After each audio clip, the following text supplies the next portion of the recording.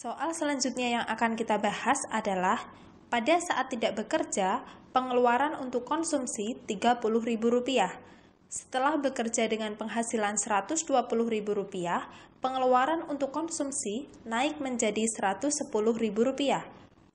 Berdasarkan ilustrasi tersebut, fungsi konsumsi adalah A. C sama dengan negatif 30.000 plus 1 per 3 Y. B. C sama dengan 30.000 plus 1 per 3 Y. C. C sama dengan negatif 30.000 min 2 per 3 Y. D. C sama dengan 30.000 plus 2 per 3 Y. E. C sama dengan negatif 30.000 plus 2 per 3 Y.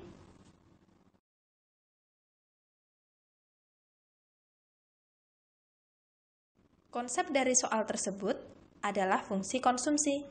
Fungsi konsumsi adalah suatu kurva yang menggambarkan sifat hubungan di antara tingkat konsumsi rumah tangga dalam perekonomian dengan pendapatan nasional perekonomian tersebut.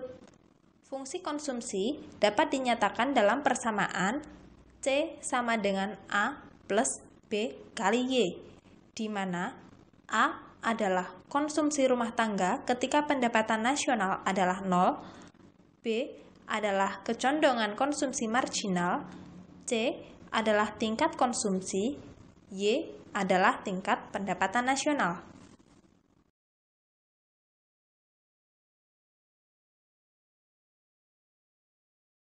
Untuk menyelesaikan soal tersebut, ingatlah trik berikut ini. Pengeluaran saat tidak bekerja disimbolkan dengan A atau konsumsi otonom dan fungsi konsumsi adalah C sama dengan A plus B kali Y, dibaca cabi.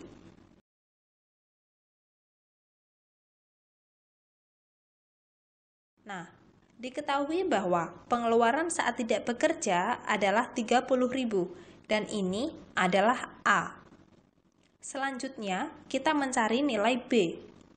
B sama dengan M kali P kali C, sama dengan selisih konsumsi dibagi selisih pendapatan, sama dengan 110.000 dikurangi 30.000 dibagi 120.000 sama dengan 80.000 dibagi 120.000 sama dengan 2 per 3. Maka fungsi konsumsinya adalah C sama dengan 30.000 plus 2 per 3Y. Sehingga jawaban yang benar adalah D.